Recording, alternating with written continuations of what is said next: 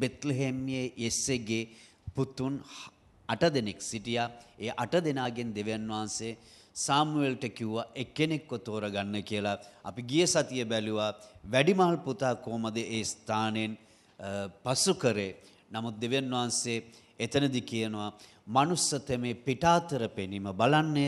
නමුත් දෙවියන් වහන්සේ මොනවද කරන්නේ? උන්වහන්සේ හදවත දෙස බලනවා, සිත දෙස බලනවා කියන එක දෙවියන් වහන්සේ මිනිස්සුන්ගේ ජීවිතයේ කොහෙද බලන්නේ කියන එක දෙවියන් වහන්සේ ඒ වෙලාවේදී ඒක ඊ타ත්ම ඒ ස්ථානයේදී දෙවියන් වහන්සේ පැහැදිලිව සාමුවෙල් අනාගත වක්තෘට උන්වහන්සේ විස්තර කරා. අද දවසේ අපි දැන් සාමුවෙල් පළවෙනි පුතා දෙවියන් වහන්සේ ප්‍රතික්ෂේප කරා කිව්වම මොනවද කරන්නේ?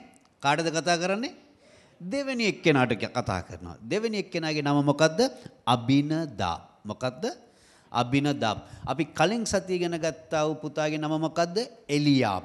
එලියාබ් කියන්නේ මගේ පියාණන්ය. දෙවියන් වහන්සේ මගේ පියාණන්ය. අද දවසේ අබිනදාත් කියන්නේ බාරවල නැත්තම් පොරුන්දුවල පියා. මොකද්ද? පොරුන්දුවල පියා. හලෙලුයා. මෙයා තමයි දාවිද්ගේ පවුලේ අට දෙනාගෙන් මේ දෙවනියා. මේ දෙවනියාවත් දෙවියන් වහන්සේ තෝරා ගත්තේ නෑ. සාමුවේල් ඕගේ නම ඇස්සු විගස කල්පනා කරන්න ඇති. ඕ එකන වචනයක් කිව්වොත් කවදාවත් ඒ වචනය මොකක්ද මෙය කවදාවත් ඒ වචනය ඒ කියන්නේ වචනයට විශ්වාසවන්තව සිටිනවා. ඒක නිසා මෑව තමයි දෙවෙනස් අභිනදා නම එකන පොරොන්දුවේ පියා. කිව්වොත් කිව්වමයි. ඒක එකන්නේ හරියටම ඉටු කරනවා. දේව වචනය එක තැනක කියලා තියෙනවා මනුස්සයෙක් වචනයෙන් නොපැකිලේ නම් ඔහු ඇවිල මොකක්ද සම්පූර්ණ පුරුෂයෙක්. මොකක්ද වචනයෙන් නොපැකිලේ නම් කියවන්න යාකෝබ්ගේ පොත අපි කියමු යාකෝබ්ගේ පොත අලුත් ගියුස්සමේ තුන්වන පරිච්ඡේදයේ දෙවන පදය. කෙනෙක් බලන්න අපි බෝධ අපි සියලු දෙනාම වගේ විවිධ දේවල් වලින් පැකිලෙනවා කියලා ඒ ස්ථානික කියා තිබෙනවා. යමෙක් වචනයෙන් පැකිලෙන්නේ නැත්නම් මුළු ශරීරයම දමනය කරන්නේ. කියන්නේ දැන් අපි අස්වෙක්ව ගත්තාම කටකලියාවක් දාලා අස්යාව මොකද්ද කරන්නේ? අපට පුළුවන් අපට කියන්නේ අප කැමති තැනට ඒ සතාව ගෙනියන්න. ඒ වගේම තමාගේ වචනය මිනිස්සෙක් හරියටම මොකද්ද මැඩපවත්ව ගන්න පුළුවන් නම් ඒ වචනය යමක් දේව අභිමුඛී වුණත් යමක් යමක් මං කියනවා මං ඒක හරියටම ඉටු කරන්න පුළුවන් නම් මොකද්ද මට පුළුවන් මගේ ජීවිතේ හරියටම පාලනය කරන්න. දෙවනි පුතා දිහා බැලුවා ඔව්. නමුත් දෙවියන් වහන්සේ දුටුවා වචනින් කියන්නේ කියන්නේ නමින් විතරයි මේ පොරොන්දුවේ පියා නමුත් ඊශ්‍රායිල් රජයක් බවට රජ කෙනෙක් බවට මූ පත් කරාම ඒ වචනය මූ හරියට ඉටු කරන්නේ නැහැ කියන එක දෙවියන් වහන්සේ දැනගත්තා. මොකද්ද? නායකත්වයට රජකමට කෙනෙක් පත්වෙන්න ඕනේ නම් වචනේ. දැන් බලන්න අපි ලංකාවේ නිතරම අපි දැනගන්න දෙයක් තමයි ඡන්ද කාලෙට දේශපාලඥයෝ මොකද්ද කරන්නේ විවිධාකාර පොරොන්දු දෙනවා මිනිස්සුන්ට මං අරක කරනවා මේක කරනවා මම බලයටපත් වුණාම ඒ කියන්නේ නොයෙකුත් විවිධ පොරොන්දු දෙනවා හරි ඒ ඔවුන්ගේම නම දාලා මේ චින්තනය කියලා කියනවා මේක කියලා කියනවා මේක තමයි අපේ මැතිවරණ ප්‍රකාශනය කියලා කියනවා මේ සියල්ලම ඔවුන් ප්‍රකාශ කළත් ටික දවසකින් මොනවද වෙන්නේ ඒක සම්පූර්ණ ඒ වගේ දෙයක් ප්‍රකාශ කළාද කියලා ඔවුන්ටම මතක නැහැ. සෙනගයි විරුද්ධ පක්ෂයයි ඔවුන්ට මතක් කරලා දෙනකන් ඔවුන් දන්නේ නැහැ ඔවුන්ගේ මැතිවරණ ප්‍රකාශනය මොකද්ද කියලා. නමුත් දෙවියන් වහන්සේ වගේ කෙනෙක් නෙමෙයි. දෙවියන් වහන්සේ පොරොන්දු වලට විශ්වාසවන්තයි. ගිවිසුම් වලට විශ්වාසවන්තයි. පොරොන්දු වූ තැනන් වහන්සේ විශ්වාසවන්තයි කියලා දේව වචනේ විවිධ තැන්වල කියලා තියෙනවා. ඒ වගේම දෙවන් වහන්සේ කැමති. දැන් දේව අභිමුඛයට ඔබ පැමිණෙනවා. ඔබට ඒ කරන බාරය ඒ පොරොන්දු ඔබගේ ජීවිතය ඉටු කරන්න බැරි නම් කවදාවත් දේව අභිමුඛය හදිස්සි වෙලා මම මේක කරනවා කියලා කියන්න එපා. කියවන්න දේශනකාරයාගේ පොත පස්වන පරිච්ඡේදයේ පස්වන පදය. බාරයක් වෙලා බාරය නොගෙවා සිටිනවටත් වැඩිය භාරයක් නොවී සිටීම මොකක්ද හොඳයි. හරි. නමුත් අනිත් පැත්තෙන් දෙවන් වහන්සේ තෝරගත්ත දාවිත් ඉන්නවානේ මොකක් හරි භාරයක් වුණා කියන්නේ නිතර මේ භාරය ඉටු කරන මිනිසෙක්. මම මම දෙවන් වහන්සේ වෙනුවෙන් මේ දේ කරනවා කියලා කිව්වා. දෙවන් වහන්සේ ඒ වගේ මිනිසෙක්ව තමයි බලන්නේ. නිකන් නම්මින් බාරේ පියා කියලා නැත්තම් පොරුන්දුවේ පියා කියලා නමට ජීවත් වෙන්න එපා. හදවතින්ම මම දෙව අභිමුඛයේ යමක්. ඒ කියන්නේ ඒක වැදගත්. දෙවන් වහන්සේ දැන් සමහර ගොඩක් දේව දරුවන් පවා මම කිව්වේ අර දේශපාලඥයන් බවට පත් වෙනවා. නව වසරක් පටන් ගන්නකොට ඒ 31 වෙනිදා රෑ 12ට ස්වාමිනී මම ජනවරි 1 වෙනිදා ඉඳලා මම ඔබ වහන්සේත් එක්ක ජීවත් වෙනවා. මම මේ නව වසරේ කරනව අදිෂ්ඨානයන් මේක මේක මේක මේක කියාගෙන යනවා. නමුත් ඒ අදිෂ්ඨාන සමහර අවස්ථාවල ජනවාරි 2 වෙනිදා 3 වෙනිදා වෙනකොට අපි අමතක කරලා දානවා.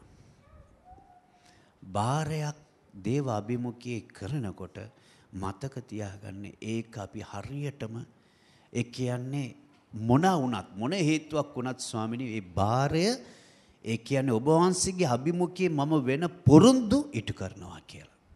හලෙලුයා. අපි කරන බාර ඇවිල්ලා මේ ලෝකෙ මිනිස්සු වගේ කරන දේවල් නෙවෙයි. මිනිස්සු ගිහිල්ලා මට මේක ලැබුණොත් මම මල් වට්ටියක් අරගෙන මං මේ පන්සලේ පුද කරනවා.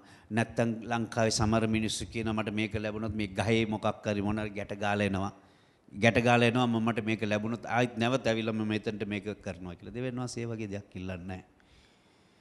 දෙවියන් වහන්සේ කැමති ආත්මිකව ශුද්ධ ජීවිතයට බාර වූ අය ඒ කියන්නේ වචනයෙන් යමක් කට ඇරලා ප්‍රකාශ කරනකොට කියන්න ඕනේ නිතරම. බාරයක් වෙනකොට මේම කියන්න. ස්වාමිනී මම අද දවසේ ඔබ වහන්සේගේ අභිමුඛයේ මේ වෙන බාරය පොරොන්දුව ප්‍රතිඥාව අදිෂ්ඨානය ගිවිසුම ස්වාමිනී යේසුස් වහන්සේගේ ලේවලින් මම මුද්‍රා කරනවා කියලා කියන්නේ. සමහර අවස්ථාවල අපිට බෑ. අපේ ශක්තියෙන් අපි අද එකක් කියන එක හෙට වෙනකොට අපිට බෑ. යමක් කියනකොට කියන්නේ යේසුස් වහන්සේගේ මොනද ලේවලින් අනර්ග ලේවලින් ස්වාමිනි මම මේක මුද්‍රා කරන මම මේ කියන දේ.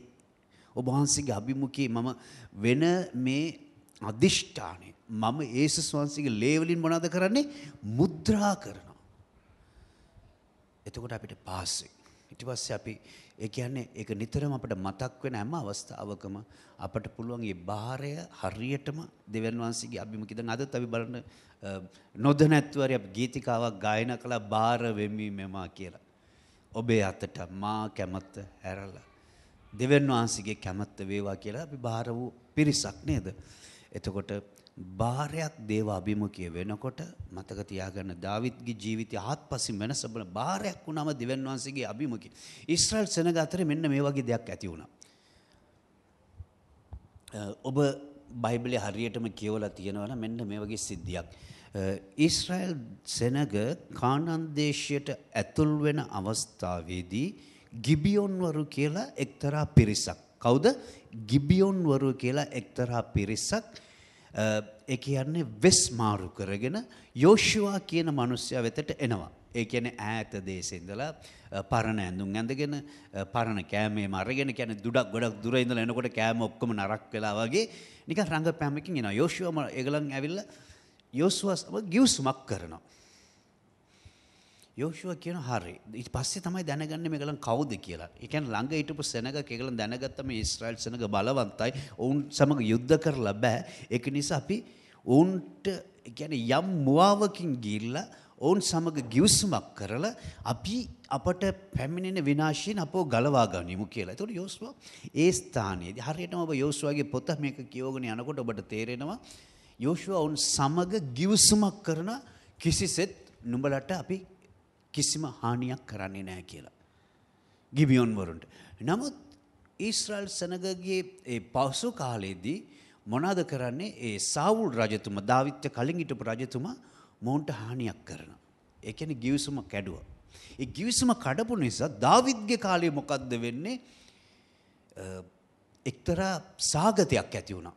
ඒ කියන්නේ දෙවියන් වහන්සේ ඒ කියන්නේ අන්‍ය ජාතින්ට උනත් ඔය කියන්නේ ඔබ පිටස්තර ලෝකයේ මිනිස්සෙකුට උනත් යමක් ඔබ දේවදරුවෙක් වශයෙන් මම මේක කරනවා කියලා කිව්වොත් මම මේ දේ කරලා දෙන්නම් කියලා කිව්වොත් ඔබ ඒකට විශ්වාසවත්ව සිටින්න ඕනේ. දාවිත්ගේ කාලේ මොනවද උනේ? සාගතයක් ඇති වුණා. එතකොට දාවිත් සොයා බලනවා මේ සාගත මේ කියන්නේ මේ වගේ වසං සාගතයකට හේතුව මොකක්ද කියලා දාවිත් බලනවා. අපි කියමු මේ පද ටික කියවන්න දෙවන සාමුවෙල් 21 වන පරිච්ඡේදයේ පළවෙනි පදේ ඉඳලා කියවන්නකෝ බලන්න. දැන් දැන් පොඩ්ඩක් මට සවන් දෙන්න. මේ සිද්ධිය යෝෂුවාගේ පොතේ තමයි මේ ගිවිසුම කරලා තියෙන්නේ. මේ ගිවිස් කියන්නේ දෙවියන් වහන්සේ බලන්න පරම්පරාවෙන් පරම්පරාවෙන් ගිවිසුම් සීකරන දෙවියන් වහන්සේ. අපේ දෙවියන් වහන්සේ කෙබඳු කෙනෙක්ද? පරම්පරාවෙන් පරම්පරාවෙන් අපි ගිවිසුම් රක්ෂා කළ යුතුයි කියලා දෙවියන් වහන්සේ අපෙන් බලාපොරොත්තු වෙනවා. මේක ගොඩක් කාලෙකට පස්සේ මොනවද කරේ? සාවුල් රජ ඒ ගිවිසුම කඩ කළා. කඩ කරපු හේතුව නිසා මොකද්ද උනේ? වසාගතයක් ඇති වුණා. මේ සාගතයට හේතුව මොකද්ද කියලා දාවිත් සොයා බැලුව විට මොකක්ද උනේ? දෙවියන් වහන්සේ පෙන්වලා දුන්න අර වුණ පොරොන්දුව ගිවිසුම කඩ කරලා තියෙනවා කියලා. දාවිත් ඒ වෙලාවේදී දේව අභිමුඛයේ ඒකට හරි පිළිවෙලක් කරපුවාම මොකක්ද උනේ ගිවිසුම ආරක්ෂා කරන්න තීරණයක් කරපු වෙලාවේදී ඒ සාගතය නැති වුණා. සමහර අවස්ථාවල අපේ ජීවිතේ තේම වෙනවා. ඔබ දන්නවද? පරණ ගිවිසුම එක්තරා මිනිස්සෙක් ඕගේ නම යාකෝබ්. ඔහු බාරයක් වෙනවා දෙවියන් වහන්සේට කියනවා ස්වාමිනේ. ඔබ වහන්සේ මාව මේ ගඟ පසු කරගෙන යන්න ඔබ වහන්සේ මට උපකාර කරන නිසා මොකද්ද? මේ ගංගාව පසු මම යන්නේ දැන් අද සැරහැටියක් සමග තමයි. වෙන මුකුත් නැහැ. නමුත් ඔබ වහන්සේ මට ආශිර්වාද කරලා නැවත පැමිණෙන්නට ඔබ වහන්සේ සැලසුවොත් මට ලැබෙන සෑම දෙයකින්ම මම මොකද්ද ඔබට දෙන්නේ? දසෙන් කොටස දෙනවා කියලා පොරොන්දුවක් වෙනවා. කියවමු අපි මේ පදේ. කියවන්න බලන්න උත්පත්ති 28 22 වන පදය. උත්පත්ති 28 22. හරි. දැන් බලන්න පටන් ගන්න.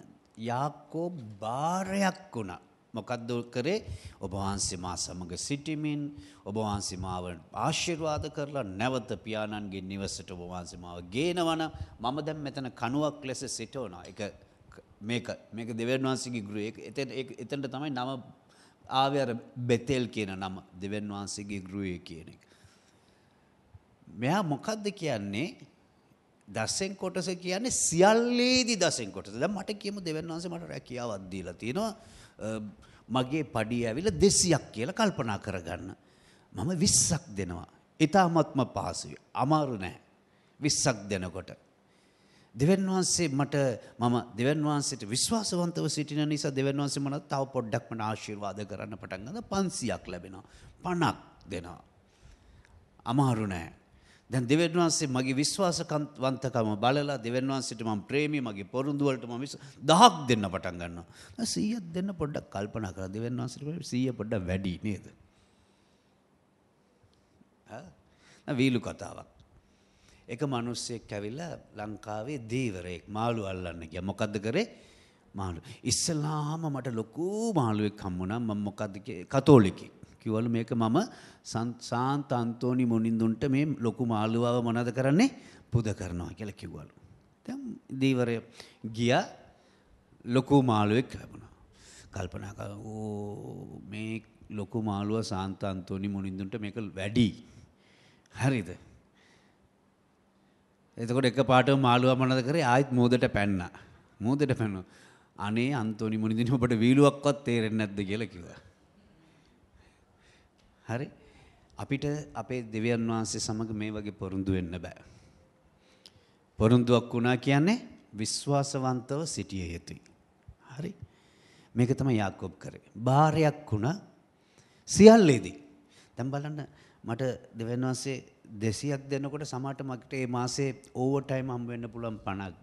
ඒකින් උත් දෙවියන් වහන්සේ කැමති ඒ ඕවර් ටයිම් එකකින් උත් මම දසෙන් කොටස දෙනවට. දසෙන් කොටස කියන එක මතක තියාගන්න ඔබ දෙවියන් වහන්සේගෙන් ලබා ගන්නා පිණිස නෙමෙයි දෙන්නේ දෙවියන් වහන්සේ දුන්න නිසා. මොකද්ද? දෙවියන් වහන්සේත් එක්ක ආයෙත්ම දැන් කියනවනේ ඔබ දැන් ඔය රූපවාහිනියම අසනවා දෙවන් වහන්සේගේ රාජ්‍ය වෙනින් ඔබ වපුරන්න දෙවන් වහන්සේ ඔබට සිය ගුණයක් දෙනවා කියලා. ඒක නෙවෙයි. මොකද්ද දෙවන් වහන්සේ රාජ්‍ය වෙනුවෙන් වපුරන්න දෙවන් වහන්සේ ඔබට සිය ගුණයක් දෙනවා කියලා ඔබ අහලා තියෙනවද මේ රූපවාහිනියේ දේශනාව අහලා දෙනවා. දෙවන් වහන්සේගේ රාජ්‍යයට ඔබ වපුරන්න ඩොලර් 100ක්. ඒක නෙමෙයි දසෙන් කොටස කියන්නේ. දෙවන් වහන්සේ කැමති ප්‍රේමයෙන් දෙන එක. ඒක ගරු කිරීමක්. ඒ භාරය ඉටු වුණාන හරියට කරන්න.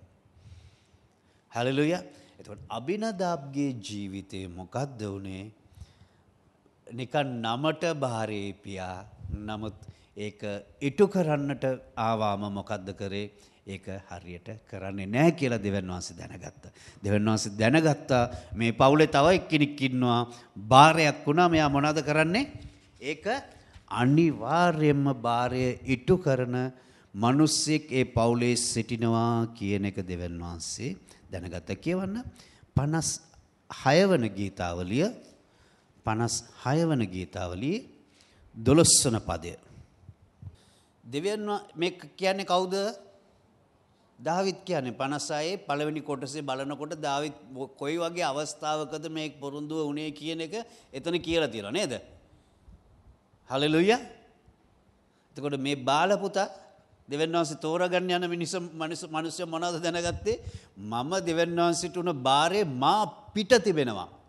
ඒ බාරයෙන් මම ගැලවිලා යන්න බෑ හලෙලුයා එතකොට අද දවසේ දේවදරුවනි අපි දෙවියන් වහන්සේගේ අභිමුඛයේ විවිධ ආකාරයෙන් ඔබත් මමත් ඔබ විතරක් නෙවෙයි මමත් විවිධ ආකාරයෙන් දේව අභිමුඛයේදී අපි විවිධ බාරවල් වෙලා ඇති. දෙවියන් වහන්සේට අපි කියලා ඇති ස්වාමිනී ඔබ වහන්සේ මට මේ වගේ කරාම මම ඔබ වහන්සේට මේ වගේ කරනවා කියලා. සමහරට ඒවා කඩ කරපු නිසා සමහර විට දෙවෙන් ඔබ ආත්මිකව පව සමහරට පස්සට ගිහිල්ලා ඇති. මම අද ඉඳලා හෙට ඉඳලා පෑ භාගයක් යාඥා කරනවා. අනිවාර්යෙන් පරිච්ඡේද දෙකක් කියවනවා. සතියකට එක වතාවක් හරි ඒසුස් වහන්සේ ගැන අලුත් කෙනෙකුට කතා කරනවා. මේ වගේ විවිධාකාර බාර වෙලා ඇති එක කඩ කරපු නිසා සමහර වෙලාවට අර දෙවියන් වහන්සේ එක්ක තියෙන අර සම්බන්ධතාවය අපි පස්සට ගෙල්ලා ඇති.